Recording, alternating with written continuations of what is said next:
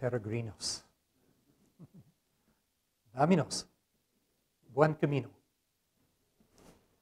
We're going to Spain um, for a very long walk. Um,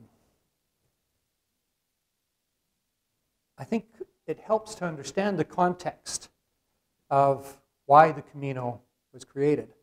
Um, the Camino uh, is, as I have said, a very long walk, and it's a punishment. It started as a punishment. So if you were in one of the many small communities, and that's all there were back in the Middle Ages, and you committed some grievous sin, the step that the first transnational corporation took against you, the first transnational corporation being the Holy Roman Catholic Church, the step that they took to correct you was to excommunicate you. Now, we may have all heard about excommunication, but excommunication meant what it, what it sounds like. The community was off limits to the sinner. That meant no one transacted with you, no one spoke to you, no one related to you, no one supplied you. And so it usually didn't take too long before you were on your knees in the church in front of the priest. And then you received your penance.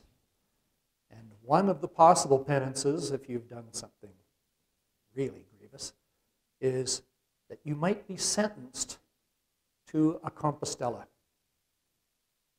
A Compostela meant that you were to immediately go to your house, take a few possessions, and start walking from wherever you were in Europe to the Cathedral of St. James at Santiago de Compostela on the western, western, western edge of Spain, that part of Spain that extends out over Portugal, um, in a province called Galicia.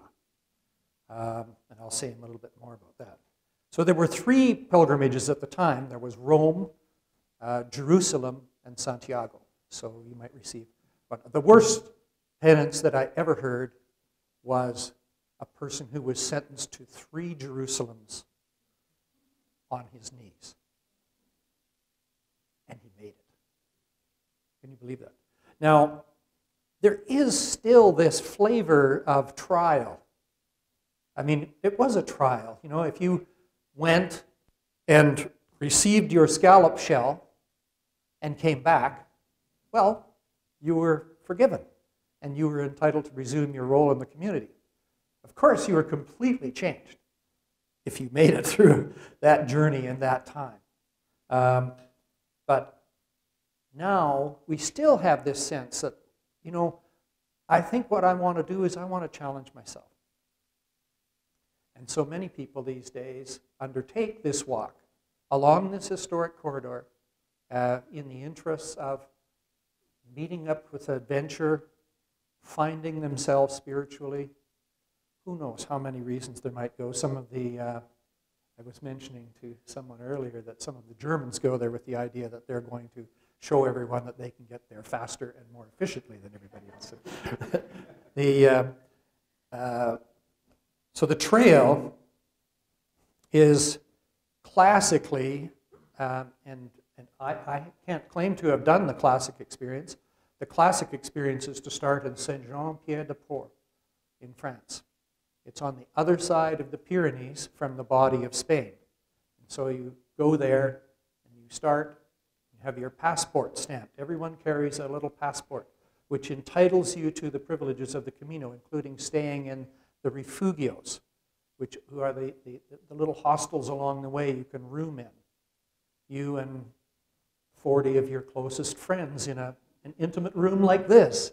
Uh, and uh, so you can do that. You can, and it also tells people at the end of the line that with your stamped passport, which becomes, of course, a matter of honor to collect as many stamps as you can, that you have done the route and you, can prove that you were there. Um, so there are several routes, and the paths which still exist join Santiago with almost every community in Europe.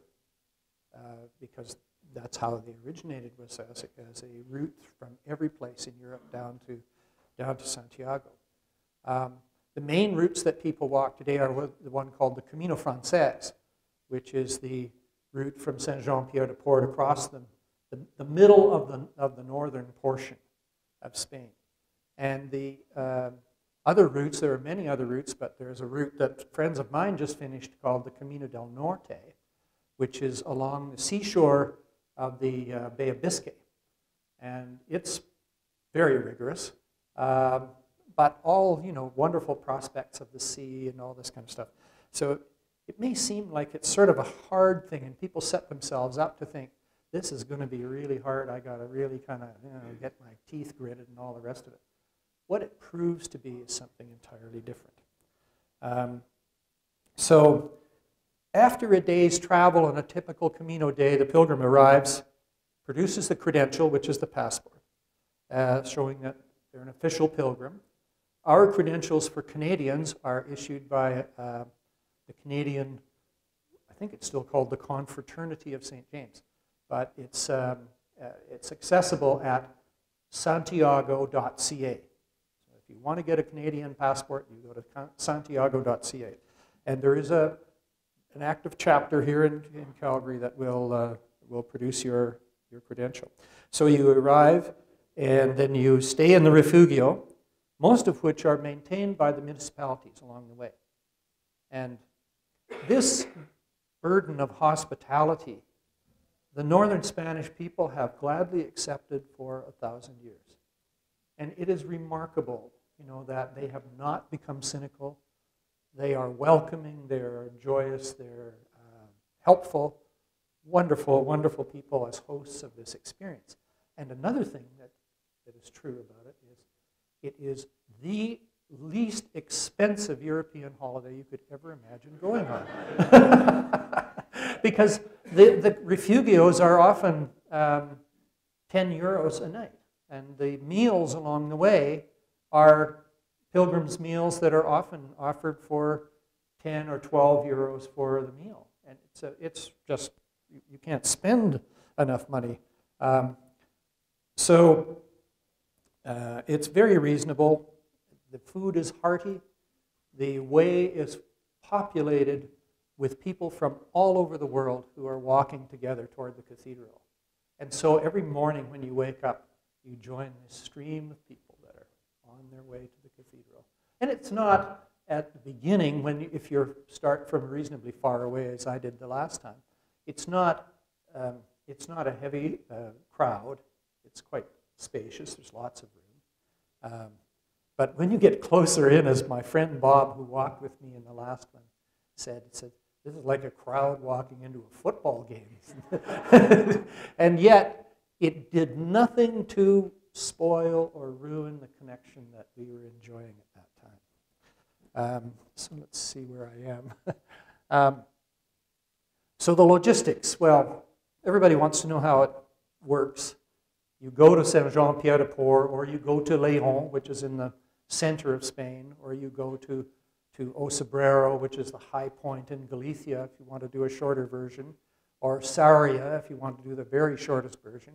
And you get there by conventional transport. Uh, you, know, you fly to here or there.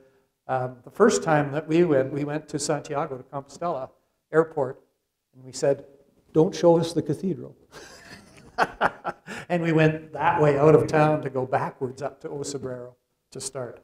Um, the uh, aside from the, the credential, which you need, you need to have equipment. The first time that we went, we thought we were going to sort of Lawrence of Arabia's Spain. So we had all sorts of things like hats with, you know, neck shelters because the sun was going to beat down on us and all this kind of stuff. And this was in the very, very early days of the internet. And my friend who went with me, Derek Bullen, who is a very tech-savvy guy, about five days, I think it was, before we were scheduled to get on the plane, found out that you could look up weather for distant places on the, uh, on the Google. You know? So he, he looked up weather for Santiago. 55 rain, 55 rain, 55 rain, 55 rain.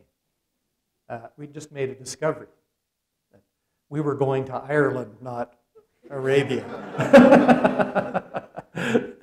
so we raced down to Mountain Equipment Co-op and bought every kind of keep dry thing we could possibly get, including Gore-Tex socks, if you can believe it. And, and we were actually filmed on Galicia TV. And, and I don't know why the Europeans like to do this, but they have this crazy thing about people who are on TV should do something silly. And so they had us dancing around each other like this, showing off our Gore-Tex socks. Who knows where that clip is? I'd love to find it. Um, but uh, uh, so you, you, you walk, you stay in the refugios generally. Um, I didn't uh, the third time. I went on the executive Camino. And the executive Camino means that you can stay in two and three star hotels along the way and you still can't spend enough money to make any difference. Um, and this is the real payoff. You can have your bag schlepped by Jacotrans every day. So they will take your bag and they will drop it off at your destination. And you arrive and there's your bag and you've gone all day with just your day pack on. Now this makes a big difference when you get to a certain age, you know. It's just a hell of a lot easier to walk without the burden. But my friend Bob, he insisted, he wanted to carry it all, so he had his 20 kilo pack and more power to him. Um, and the other thing you probably want to equip yourself with when you go is training, because this is a very long walk. And so, you know, if you're not trained up, it's going to break you down. Um, and we see lots of people who are experiencing real physical difficulty along the way. And we did, both of us did, as we got toward the tail end of our 350 kilometers. Um, but training is a very important part of this to get used to the idea of carrying a load, walking a long way, because we're doing, of an average, uh, 25 kilo, kilometers a day, some days 30. And that's day after day after day. So it's a, it's a bit of a physical trial. Um, that said, that all disappears very, very quickly. Um, let's see. The Camino is not exclusively for Catholics. It's open to the rest of the world, and the church is very welcoming. Uh, it has a churchy character. You know, there's, there's lots of attention to churches and venerable churches along the way. You'll see one here. But it's an ecumenical trek. And what I want to try and get to this morning is to make sure that you have the feeling of a, a, a group of pilgrims united in spirit walking together. And it's a marvelous, marvelous, marvelous experience, a joyous occasion. You arrive at the cathedral, the great cathedral of St. James in Santiago de Compostela. And if you time it right, you can go to the 11 o'clock Pilgrim's Mass. And uh, at the 11 o'clock Pilgrim's Mass, they swing the Botafumeiro. And the Botafumeiro is this gigantic incense burner. Because in the good old days, the pilgrims used to arrive there and they were not what we would call friendly. Because they'd had a long walk and they were unwashed by and large. So they'd light this Botafumeiro and then they, you know, in the middle of this, my great friend Rick Eigenbrod turns to me and he says, We do good church, don't we? so this thing starts up and then it's, it's propelled by a bunch of monks on ropes and they swing it throughout the entire church from apse to apse. So it's like hundreds of feet in the air. And of course, everybody you know, cheers, and so it's very unchurchy in that way. Um, so let me show you a few things here. Yeah, why? I think that's the question that's interesting and one that changes over the duration of the trip. Um,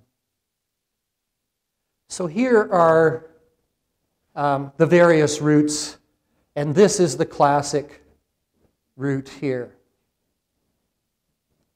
The Camino Frances, you can see it says that right there. Um, starting from here over the Pyrenees, and boy, what a way to start, because if you do that, you're climbing right up over a very high pass with your first day, and then back down to um, this town, which has a very interesting pronunciation. It's, it's not even here. Roncesvalles.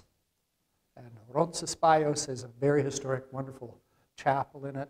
I know all this because I talked to lots of Camino Peregrinos and through Pamplona, Logroño, Burgos, and then across a very desolate sector called the Meseta, which is sort of like walking from here to Hanna. Um, not much more decorous than that. Um, however, people tell me it has its own majesty. And I got on at Leon and walked from Leon into Santiago de Compostela. Bob carried on to Finisterre and finished his, uh, his pilgrimage there, and I'll read a poem about Finisterre later. Um, so,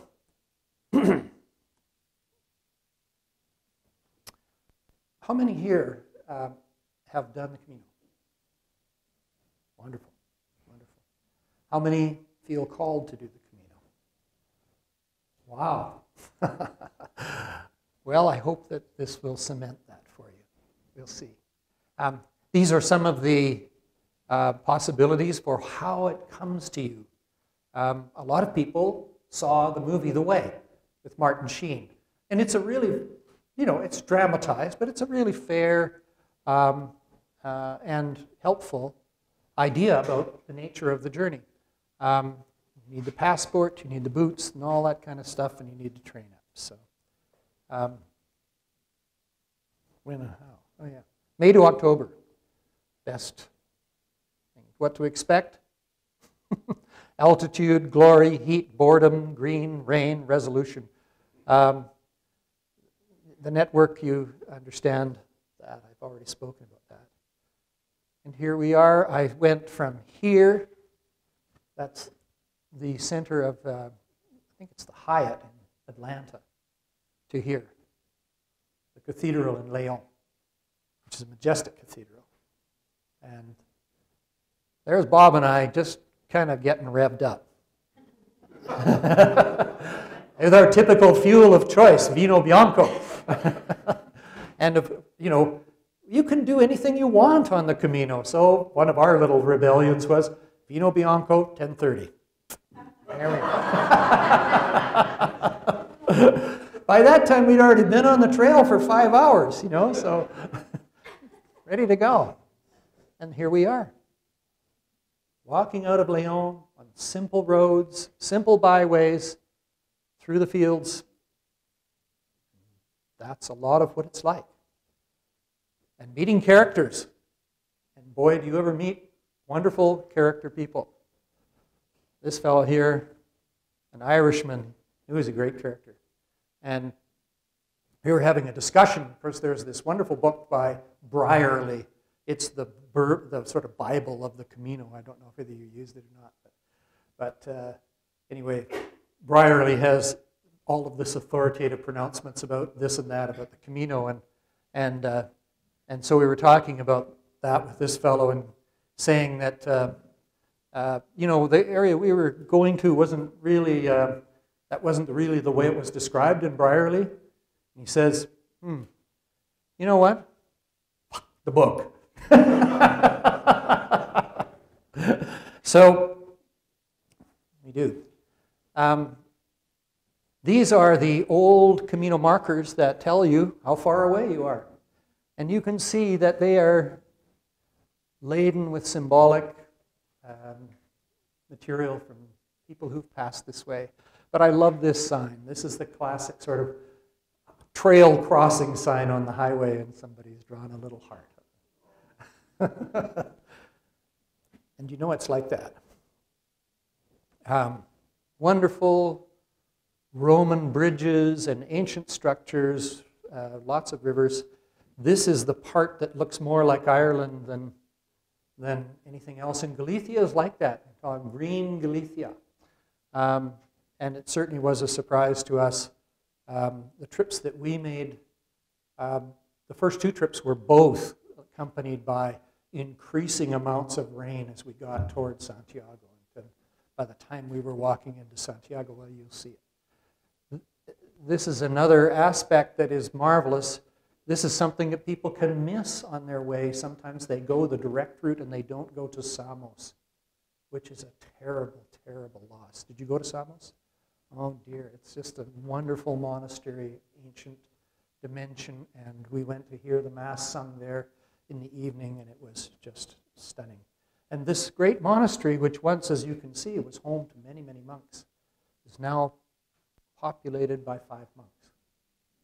Because the church has been emaciated, you know. It just isn't the way that people think anymore. And uh, monastic tradition has uh, suffered greatly. Um, there's my little day pack. And of course, you carry a staff or something like that, poles. Um, here we are getting in the, uh, into the guts of it, coming close and in the rain. Um, and this really is the road less traveled. Although, not there, there's lots of people traveling it. this is the great monument to Monte Gozo. Monte Gozo is the mountain of joy because from there you could see the spires of the cathedral for the first time. So you can imagine those pilgrims in ancient days coming to the top of this hill and going, oh, wow, I made it, or I've almost made it. Just back from Monte Gozo is another place called Lavacolla, which literally means wash your parts. Make yourself presentable for the end of the line. Here are a couple of joyous pilgrims at the end of the uh, path, coming to the end of the path, and there's the destination. But you know, as in many things that we experience in life, it's a direction, not a destination. And my friend Rick said, Don't hurry, you'll only get to the cathedral. and that's, you know, the end. Well, what fulfillment is there in that? I mean, there is great fulfillment. It's wonderful to hang around in Santiago and be with your cadre of people that have marched with you. But it's the process that is transformative and joyous. It's not the ending. Those of the, uh, who really need something, and Napoleon said that, uh, that a, an army will march a thousand miles for a bit of ribbon. And those who need that can get a, Compostela which is a certificate from the church office saying, yep, you did it. But this to me, well, I haven't opened it since I got back. but the Camino has opened me many times. Any ideas? Anything that calls to you out there and says that this is why I would like to go? Those who are thinking about yes. Well, I think you know, like our our society is so fast paced, and uh, so it might help people get into the present moment and to yeah, it is the process, not the end goal. That kind of you know, Yeah. slow slow you down and maybe think of um, priorities or whatever and stuff like that. I don't know. It could depend on what you're going through. I would think. Yep, very true. To slow, to slow you down and bring you in touch. This is the ultimate analog experience. There's nothing digital about it. The only thing that's become a little bit digital is sort of booking your place the next day. And there's that. But it is an actuality that is hard to deny. And uh, anybody else had anything they wanted to offer? Reasons to go? Yes. I, it, it just kind of dawns on me, like, part of the processing and, and, and everything else, could it actually be the physical, the physical process of just walking that distance, that opened you up, not necessarily the location? Yeah, the, just the, the physical aspect of extending yourself and, Yeah. and, and Physically walking, uh, because I find when I walk, I process, like, my thoughts process. Yes. So, You know what I mean? Yes. Yeah, so it's physically walking and, and experiencing your thoughts processing. Definitely, yeah. Um, I wrote a lot. Um, I wrote every day when I was on the Camino, and I, for those patient people who read these at the other end, they um, got to kind of be with me. And I tried to write not so much about the logistics because I don't, you know, we have to talk about the logistics to get that out of the way. But I wanted to try and convey the mind space that he entered into. So every day, Bob and I would set a theme for the day.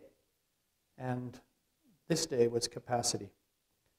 Hiking along, talking with Jackie through the deep byways of Galicia today, a familiar theme came up.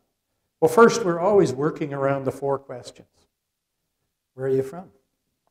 Where did you start? What inspired you? What do you hope to learn?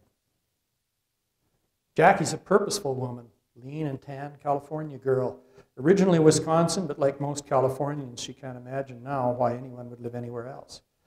So Bob and I had set this theme for the day capacity. The age of many ambitious peregrinos might surprise you.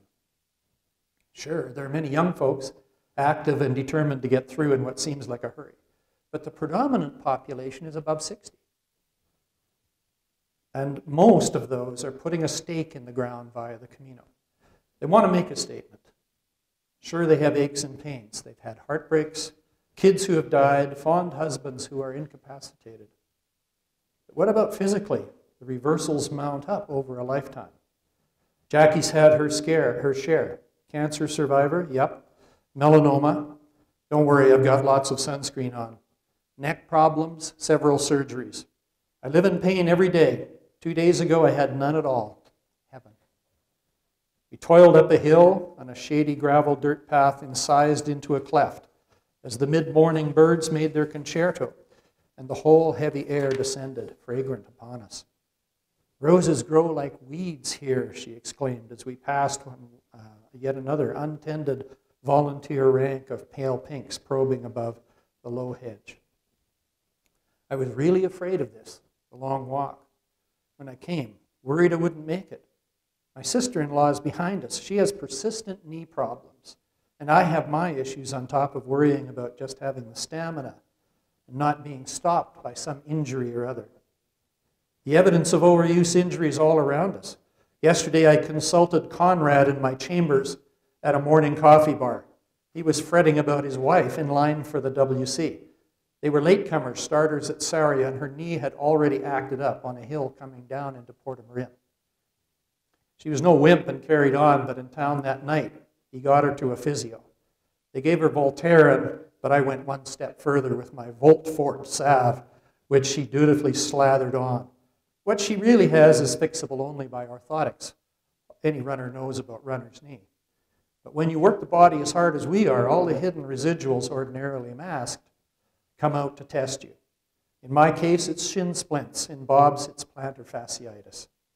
But surprising for Jackie, no body demons had jumped her, despite 800 kilometers. By this time, the cumulative toll is expressing ourselves, but our latent capacity is shocking. The body can do and put up with much more than we allow. The prevailing logic as we age, we should avoid an even longer list, an ever longer list of threats. It goes like this If I hurt my shoulder playing tennis after years of happily enjoying it, I'm not going to play anymore. If I skied and broke a bone, that's it for skiing. Hey, it took a long time to get over that. People start creating walls against adventure, against experience. As a result, their older lives become delimited. They do less and less in the name of preservation of their ever reducing capacity. What stops us creates unnecessary boundaries, making life smaller. So Jackie and I are making a strike back against that. We weren't sure we could. Even at this age, we wanted to try to show ourselves we could, and we can. But so can many others, many, many others, who at this stage are striding or stumping, but nevertheless closing in on Santiago. So, what if the bars are packed at every turn? Tia Dolores, which means place of sadness. Um, the compere emerges with a great big shepherd's crook and a cloak uh, to pose with the hikers, jolly and given, giving. Along the stone wall leading away, the path dappled in the sunlight, a lineup of their empty craft beer bottles. I mean, this gives new dimension to the old 99 bottles of beer on the wall. so there's lots of character and joy still flowing in those who are expanding their capacity, starting from wherever. Love it. To those who come like Jackie, to experience again capacity that they thought was lost to them forever. Along the way, they are experiencing an explosion of capacity and spirit in a relationship. Jackie has walked 800 kilometers with her sister in law. Her love for this imposed relationship has expanded dramatically. She knows her sister in law, her Camino inspiration, very well now and cares about her enormously. Their friendship is tested and true and deep. Along the way, her own peace and adjustment to a new phase of life has grown exponentially. She realized after a long period as a devoted mother, she wanted to become a better person to be with after her kids had flown. She wanted to be a better wife, a better friend, a better relative. What a lovely benediction to take into later life. On Mother's Day, which she experienced alone over here, she realized that she would have to adapt to her grown kids' reality, go where they are now, do what they do. It was her gift to herself. Bob and I have found that our capacity to have fun together, to learn from each other, to forgive, and even enjoy our eccentricities and foibles has surpassed anything that we could have expected.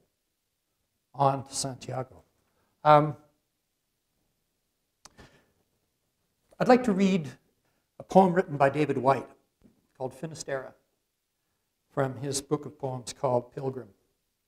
There is a tradition at Finisterre when you get to the end that you uh, leave something behind that you brought along.